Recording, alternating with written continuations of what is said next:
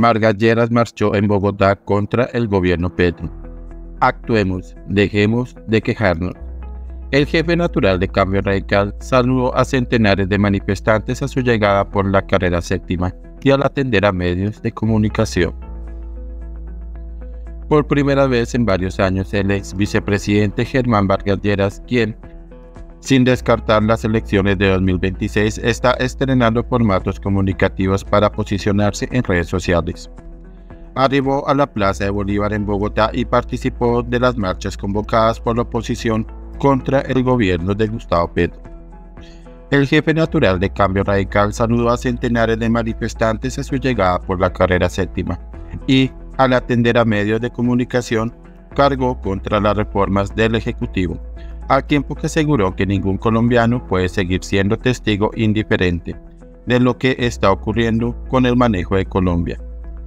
Por ello, extendió un mensaje a millones de colombianos a ratificar que llegó el momento de actuar ante la crisis que enfrenta el país Actuemos.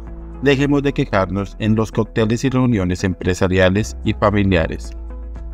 Según Vargas Lleras, está marchando también para pedirle a este Congreso que no permita que se nos acabe el sistema de salud, que tampoco permita que el ahorro de millones de colombianos se convierta en la caja menor de este gobierno.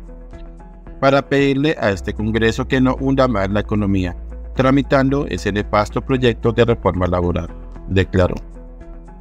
En esa línea se refirió a los problemas de orden público e inseguridad por cuenta de la política de paz total, criticando que millones de colombianos están hoy sometidos a la extorsión, la delincuencia, el abigeato y el secuestro, ante la mirada bastante impotente de las autoridades.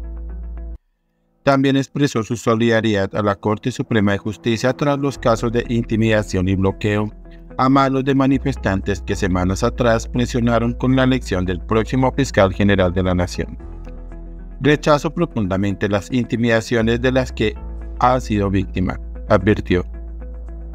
Previamente, mientras en diferentes puntos del país más de 52.000 personas se dieron cita para protestar contra el gobierno, en la Casa de Nariño, el presidente Gustavo Petro posesionó al nuevo director del Departamento Nacional de Planeación, Alexander López.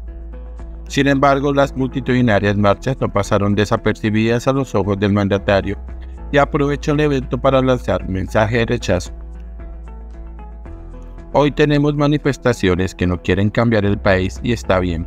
Siempre habrá fuerzas que, saliendo de los privilegios, no quieren perderlos, dijo Pedro. En su discurso mandatario también destacó que las fuerzas volcánicas de la sociedad indudablemente quieren una transformación para Colombia porque no se vive bien